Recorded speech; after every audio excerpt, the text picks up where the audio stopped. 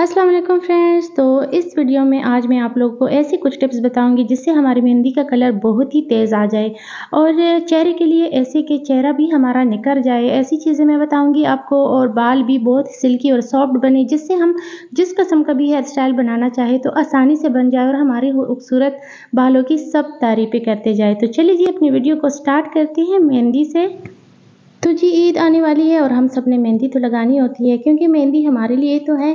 तो मेहंदी जब हम लगाते हैं ना तो कुछ लोगों के साथ ऐसा मसला होता है कि कलर इसका डार्क नहीं आता और कलर डार्क ना आए ना तो फिर उसमें मेहंदी अच्छी नहीं लगती। तो ऐसा क्या करेंगे कि हमारी मेहंदी बहुत खूबसूरत लगे।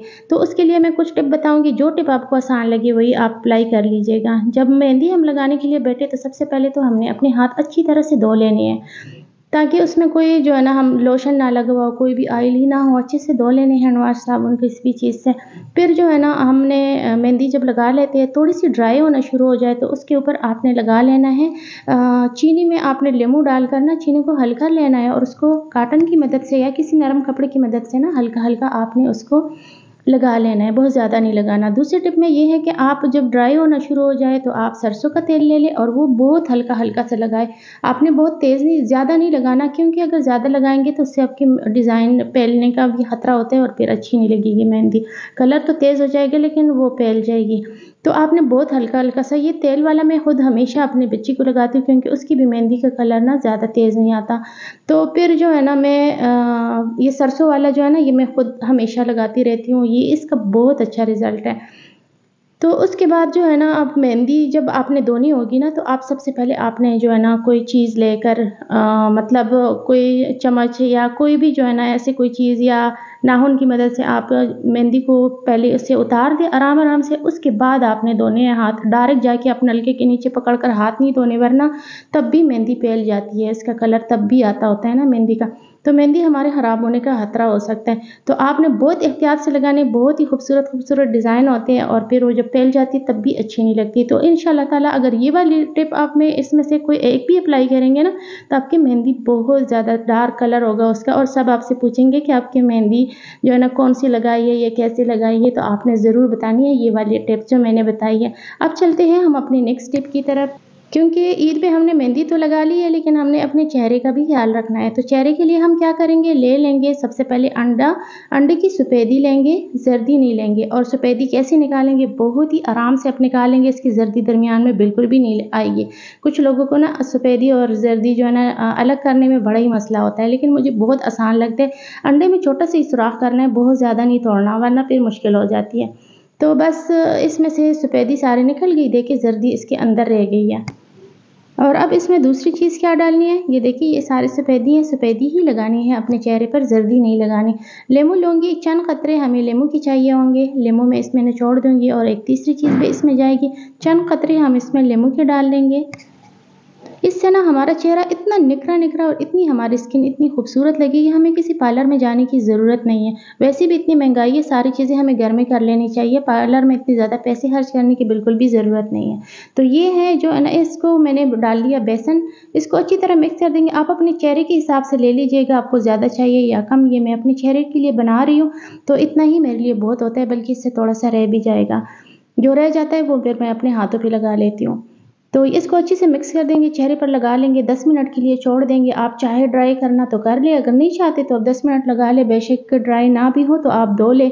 आप चाहे रखे गुलाब है आपके पास तो आप उसको स्प्रे करके अच्छे से वॉश कर दे। अगर नहीं है तो आप सादा पानी से भी नॉर्मल पानी से आप धो ले। ज़्यादा गर्म या ज़्यादा ठंडे से नहीं नॉर्मल पानी से आपने अपने चेहरा धोना है। और इतना खूबसूरत और इतना निखरा निखरा होगा ना वाइटनिंग आ जाएगी। अगर आप अपने स्किन टाइटनिंग के लिए लगानी है ना तो आपने फिर बेसन नहीं डालना। आपने सिर्फ़ जो है ना, अंडे की सफ़ेदी और लेमू जो है, आपने लगा लेना है और अच्छी तरह ड्राई होने देना है।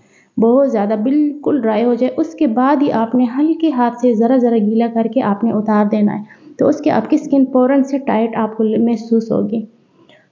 और ये भी बहुत ही ज़बरदस्त ज़बरदस्त टिप्स हैं। आपने सारे अप्लाई करने हैं क्योंकि ईद में ये सारी चीज़ें बहुत ही आसान है। सुबह सुबह उठकर भी ये हम कर सकते हैं। बहुत ही आसान है और बहुत ही कम वक्त में हमारा बहुत बड़ा मसला हल हो सकता है। तो अब हम चलते हैं, हम अपने नेक्स्ट टिप की तरफ़। ईद वाले दिन हम चाहते हैं हमारे बाल बहुत ही खूबसूरत हो। जैसे हम हेयर स्टाइल जिस तरीके से बनाना चाहें ना तो आराम से बन जाए। हमारे बाल बहुत ज़्यादा सॉफ्ट हो जाएँगे, बहुत ज़्यादा सिल्की हो जाएँगे। हम खुले छोड़ना चाहें हम कोई हेयर स्टाइल बनाना चाहें, हम कुछ भी इसमें करना चाहें तो हम आराम से कर सकते हैं। वैसे भी ईद वाले दिन हम कोई पार्लर तो जा नहीं सकते, अगर कोई जाना चाहे भी। तो घर में ही हम ये सुबह सुबह वैसे भी ईद वाले दिन तो नहाना होता है। तो बच्चियों के हों, लड़कों के हों, लड़कियों के, जिसके भी हो सुबह सुबह उठकर आप ये जल्दी से लगा लें और फिर छोड़ दें अपने सारे काम काज ख़त्म कर दें। उसके बाद जब आप नहा लेंगे तो आपके बाल इतनी खूबसूरत, इतनी सॉफ्ट होंगे ना, ये मैंने एलोवेरा लिया है, मेरे घर में लगा हुआ है। उससे मैंने लिया है ये दो पत्ते मेरे बालों के लिए बहुत हो जाएँगे, क्योंकि मैं अपने बालों में ना तो बर बर के मैं लगाती हूँ एलोवेरा ये। ये वाला जब भी मैं लगाती हूँ, मेरे बाल इतने सॉफ्ट और इतनी सिल्की हो जाती है, बहुत ही मुझे अच्छे लगते हैं। तो इसका मैं जेल जो है ना, ये बहुत आराम से मैं निकाल लेती हूँ। इस वाली छुरी के साथ इसके ये कांटों वाली साइड से ना, बहुत ही आराम से इसकी जेल बहुत आसानी से मैं निकाल लेती हूँ इसका। तो हमेशा आप लोगों ने मेरी वीडियोस में देखा होगा कि मैं इसी के साथ हमेशा इसका जेल निकालती हूँ। आप जिससे आपको आसान लगता है, आप उसी से निकाल लीजिएगा। और फिर ये जो जेल है, इसके में जो येलो येलो इसका पानी निकल रहा था, वो मैंने इसका, वो वाला हिस्सा तो आपने ज़रूर हटाना है, क्योंकि उससे फ़ायदा नहीं, उल्टा नुकसान होता है।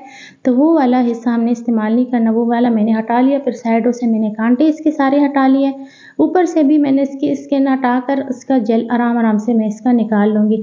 एलोवेरा के जो मैंने लगाया हुआ है ना घर में तो इसको, इसमें इतनी सारा जेल जो है ना पानी जितना ज़्यादा आप लगाएँगे तो जेल भी इतना ज़्यादा एलोवेरा आपको देगी। लेकिन अगर आप एक महीना भी इसका पानी नहीं लगाएँगे ना तो ये पौधा सूखता बिल्कुल भी नहीं है। तो इसलिए इसका जो है ना, बड़ा ही आसान होता है इसका ख्याल रखना।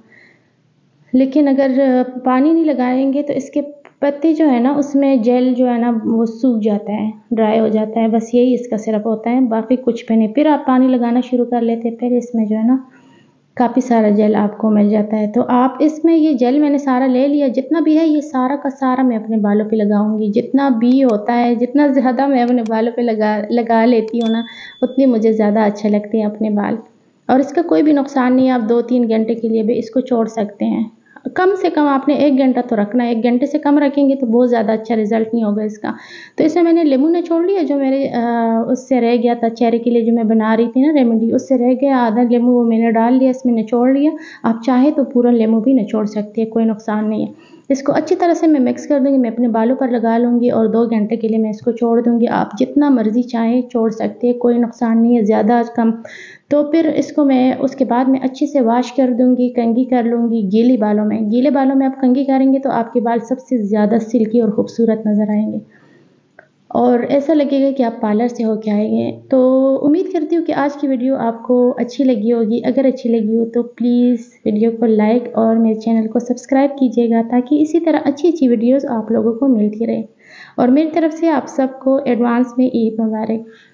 तो चले जी, ईद वाले दिन मिलेंगे इन अल्लाह हाफिज़।